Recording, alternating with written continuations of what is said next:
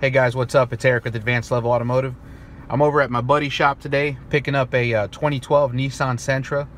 Uh, this car, they've had it for a couple weeks now and uh, it's having problems with the speedometer not working. It's got a check engine light.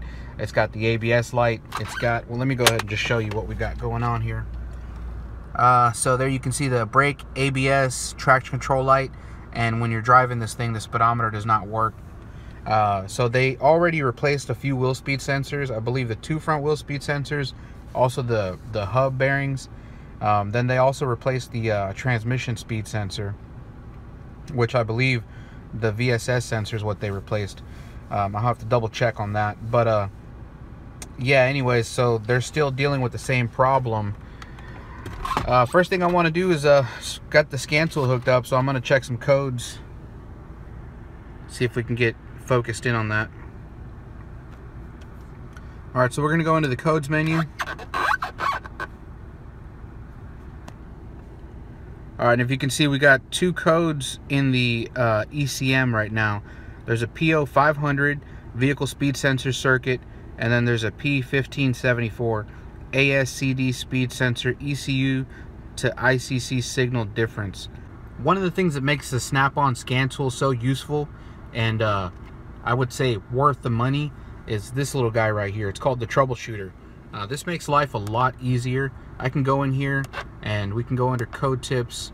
And if we're not really, if we're really not sure exactly what the code description is, or we're out in the field, you know, we don't have access to ALLDATA, um, or you just don't feel like getting out of the vehicle and pulling up ALLDATA to figure out what the uh, details on the codes are, you can pull them up over here. So uh, we're here, PO 500. I'm gonna go in here and check it out. All right, so PO500, ECM detects no signal from vehicle speed sensor. So I'm gonna check on that box and then we can finish reading the description. All right, so it tells us what sets the code. The code set condition when the ECM detects no signal from vehicle speed sensor or VSS circuit is open or shorted. And then if you want to read more possible causes, open and open or short in circuit, faulty sensor, Diagnostic aid.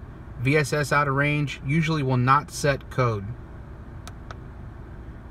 VSS is two-part system. VSS AC voltage generator is located on transmission. They're referring to the actual sensor. The actual sensor, the VSS speed sensor, is a uh, like a VRS type sensor. It creates its own own voltage, so it creates an AC sine wave, and if I remember correctly, the signal gets sent to the speedometer. So if you read here, the VSS signal uh, only sent to the speedometer, which is determined, uh, which is used to determine the vehicle speed. Um, and then what happens is that inside the speedometer, which is the instrument cluster, there's a AD converter. In a nutshell, the speed sensor signal gets sent to the instrument cluster and then the instrument cluster sends that signal to the computer. Also in the ABS module, uh, there's a code stored for a C1115 uh, and under the troubleshooter it says here that the code sets when ABS actuator control unit detects wheel speed sensor signal is malfunctioning. It's kind of a generic code. It doesn't say specifically what speed sensor it's referring to. Um, but I think I'm just going to put that code aside. I know that they did replace the wheel speed sensors, uh, two front wheel speed sensors on this vehicle, um, thinking that it was related to this problem with the speedometer, but uh, it didn't change anything. All right, one of the things that my friend did mention to me is that the speedometer will work if you clear the check engine light. After you clear the codes, the speedometer will work at speeds under 60 miles an hour. Once you hit 60 miles an hour and, and above is when the check engine light comes on, the speedometer quits working, and the codes get set in the computer. So I'm going to go ahead and try to recreate that. What I went ahead and did was cleared those codes, and now I'm going to take it for a drive to see if the speedometer is working. All right, so if you can see the speedometer is working right now after clearing the check engine light. What I want to do is I want to graph this the VSS signal on the scan tool, and then I want to compare it to the speedometer. All right, so what I went ahead and did was I singled out the uh, vehicle speed sensor data PID, and I'm graphing it right now. I'm gonna take it for a drive, then I'm gonna compare it to the actual speedometer. Okay, so we're traveling around 40 miles an hour. Got the scan tool hooked up, And uh, I'm just waiting for this thing to drop out. I'm to see if I can get up to freeway speeds around 60 and see what happens on the graph when it cuts out.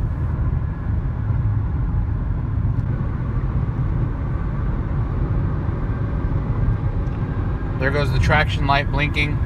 Something happened there for just a second. Traction light started blinking. I think we had a dip in the graph over here. I don't know if you can see that. I'll pause it here in a minute.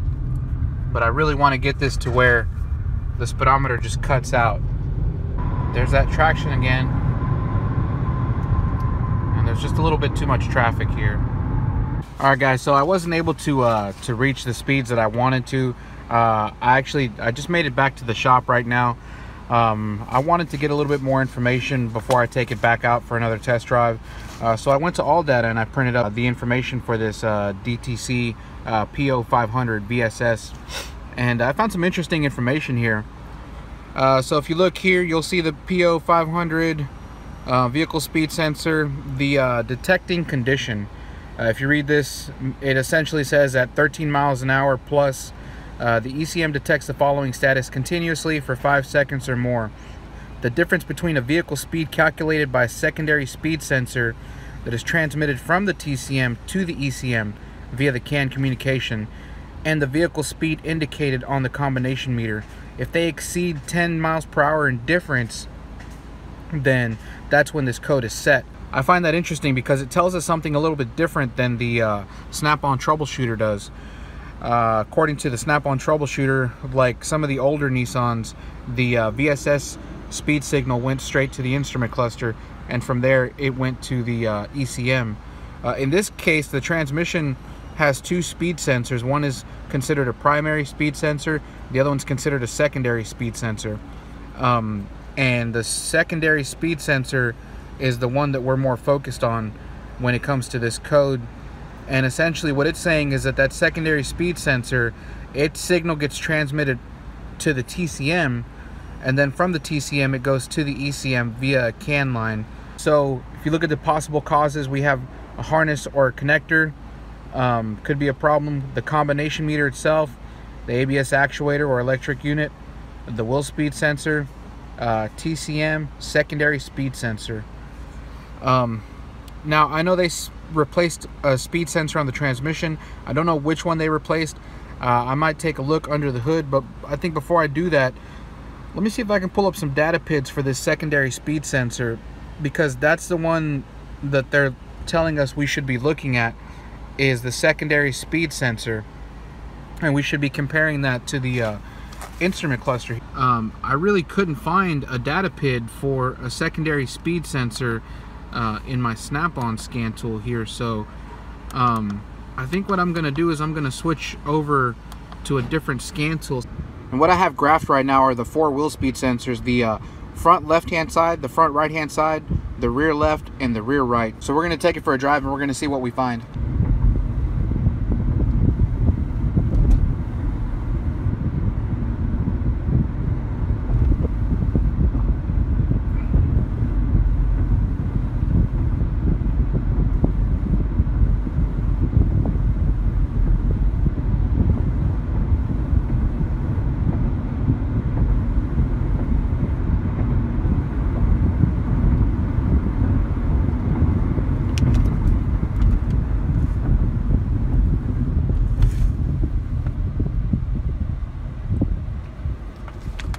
All right, that's a little interesting.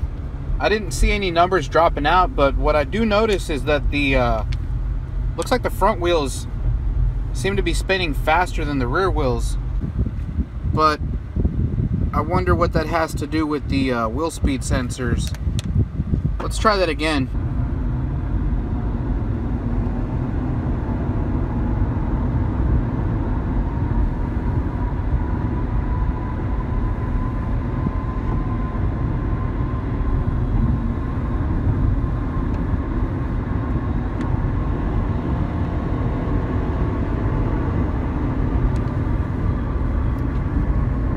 So that's interesting. What I see is that the front wheels seem to be staying uh, uh, four miles an hour faster than the rear wheels. And actually, I was able to take this thing up to about 80 miles an hour, and the, the traction control system won't let me go past 80. Uh, it's just kicking in and, and, and it's really reducing the power on the car.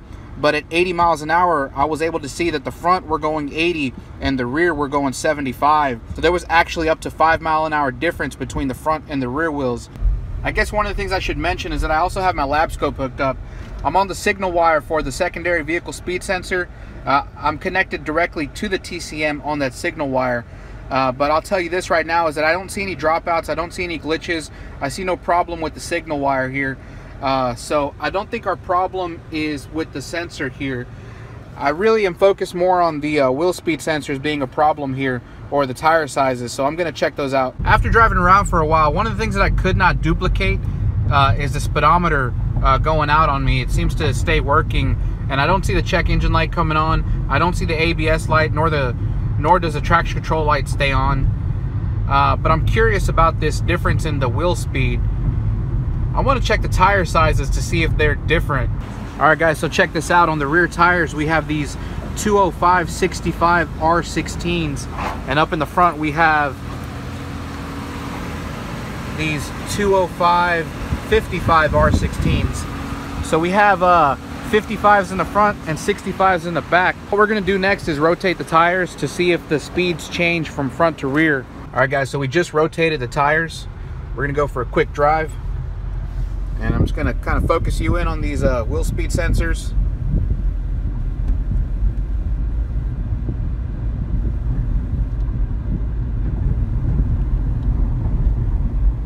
Excuse the bumpiness. I'm trying my best to hold this camera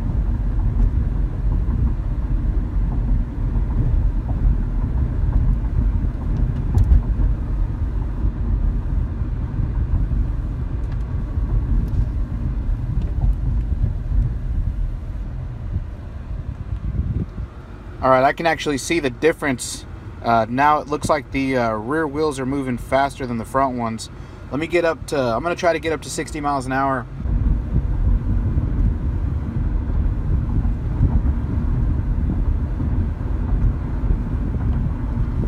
Oh, actually, you know what?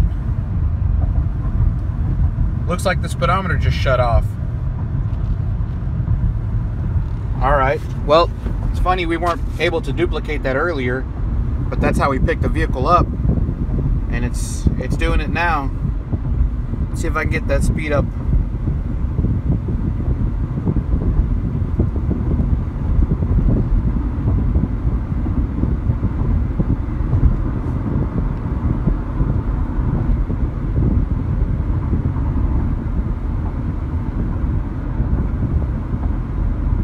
All right, what's funny about this is that it seems to be happening a lot more frequently now that we rotated the tires. Uh, was able to clear the codes uh, in the ECM and the TCM and then take it out for a spin and within probably about, I mean, a few seconds of driving when I hit about 40 miles an hour, uh, the speedometer stopped working and all the lights came back on in the instrument cluster. Uh, so I just cleared it again let's see if we can catch that on camera. I'm gonna go ahead and take it for a quick spin one more time. And you'll see that the speedometer is working. Catch that. All right, so we got a straightaway here. Speedometer's working great.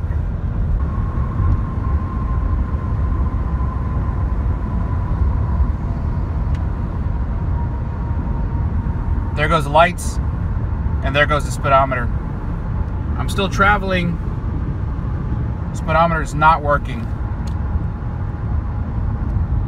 All right, guys, so what I'm gonna do is I'm gonna send this car back to my friend's shop and I'm gonna have him replace the tires.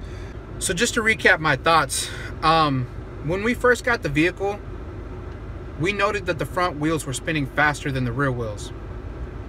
And that's because the wrong tire size. This created a totally different symptom from the symptom that we had after we rotated the tires. Because after we rotated the tires, the rear wheels were spinning faster than the front wheels. So when the front wheels were spinning faster than the rear wheels, the traction control system was activating and it was trying to slow the vehicle down. But after we rotated the tires, the traction control system never tried to activate. It immediately detected a fault. And after it detected the fault, it would shut the speedometer off. It would turn the ABS light on and the traction control light on and also the check engine light. The reason I believe it's doing this is because this is a front wheel drive vehicle. The front wheels drive the vehicle. So when the front wheels are spinning faster than the rear, the traction control system believes that it's losing traction and that's why it's activating. But when we rotated the tires and the computer saw that the rear wheels were spinning faster than the front, it doesn't believe that it's losing traction. It just immediately knows that there's a fault. It knows that there is no reason that the rear wheels should be spinning faster than the front wheels on this vehicle.